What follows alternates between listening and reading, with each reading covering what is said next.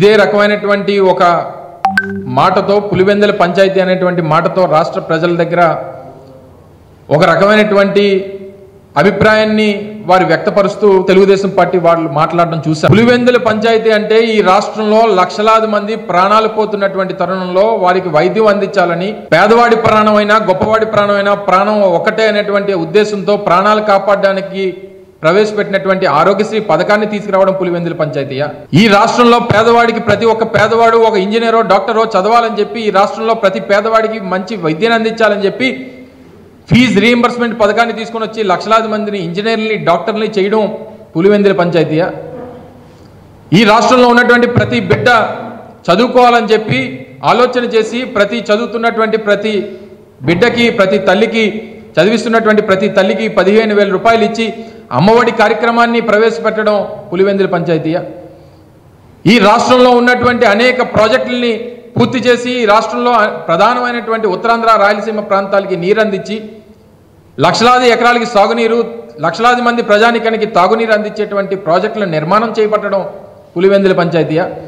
లేకపోతే విశాఖపట్నం ప్రాంతంలో రాజశేఖర రెడ్డి గారి హయాంలో బీఆర్టీఎస్ రోడ్లను తీసుకొని వచ్చి జీవీఎంసీని ఏదైతే మున్సిపల్ కార్పొరేషన్ అప్గ్రేడ్ చేసి జీవీఎంసీగా తయారు చేసి ఆ ప్రాంతంలో ఐటీ హిల్స్ తీసుకొని వచ్చి ఆ ప్రాంతంలో ఒక హెల్త్ సిటీని తీసుకొని వచ్చి విశాఖపట్నంలో ఎస్సీజెడ్లను తీసుకొని వచ్చి విశాఖపట్నంలో ఉన్నటువంటి స్టీల్ ప్లాంట్ని ప్రైవేటైజ్ కాకుండా కాపాడి బిహెచ్పి లాంటి కంపెనీలు మూతపడిపోతూ ఉంటే దాన్ని బిహెచ్ఈఎల్లో విలీనం చేసి షిప్ యార్డ్ లాంటి కంపెనీలకి ఆర్డర్లను తీసుకొని వచ్చి వాటిని కాపాడి ఇవి ప పులివెందుల పంచాయతీలా?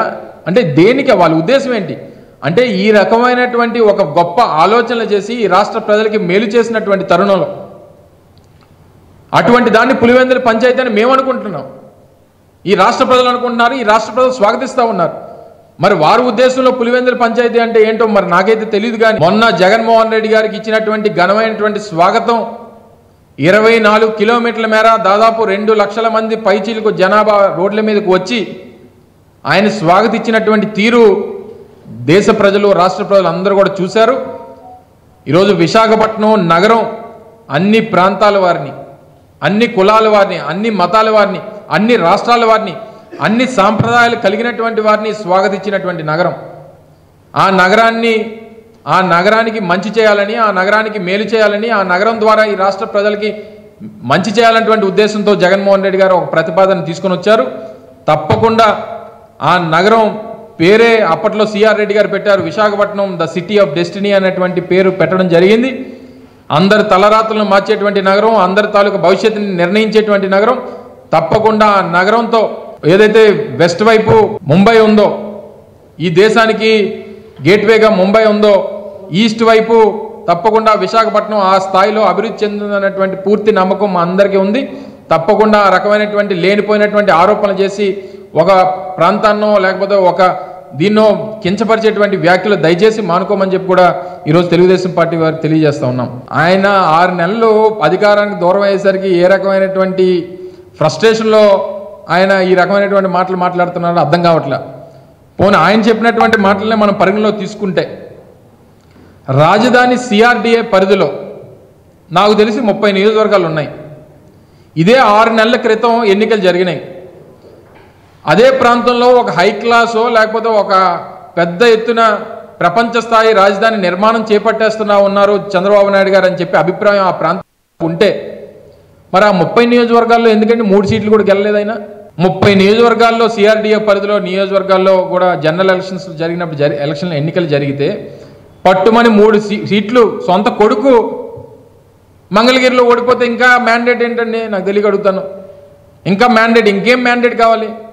ఆయన డేట్లన్నీ అయిపోయాయి. ఇంకా ఆయనకి మ్యాన్లు కానీ డేట్లు కానీ ఇంకా ఆయన అడగాల్సినటువంటి అవసరం లేదు. ఆయన మ్యాండేట్ కోసం ప్రజల దగ్గరికి వెళ్ళాల్సినటువంటి అవసరం లేదు.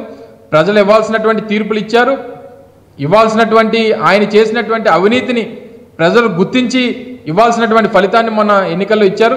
మళ్ళీ ఈ ఎన్నికలకు వెళ్ళడం మళ్ళీ రిజల్ట్స్ తీసుకొని రావడం ఇవన్నీ కూడా మళ్ళీ కొత్తగా ఏదో ఎన్నికల కోసం అధికార తాపత్రయం కోసం మళ్ళీ ఎన్నికలకు వెళ్తే ఏదో ఉండి మూడు కూడా పోతాయని చెప్పి వారికి హెచ్చరిస్తూ ఉన్నాం. మీరెక్కడున్నా ఏం చేస్తున్నా ప్రపంచంలో ఏం జరుగుతుందనేది ఇప్పుడు మీకు పెట్లోకి తెచ్చేసింది one line app. Political movies రాశి ఫలాలు ఆరోగ్య సలహాలు సీరియల్స్ విశేషాలు. ఇలా ఒకటేమిటి?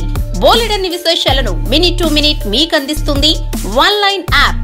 So late ఎందుకు? డిస్క్రిప్షన్లో ఉన్న లింక్ ద్వారా వన్ లైన్ యాప్ డౌన్లోడ్ చేసుకోండి. One line it's for every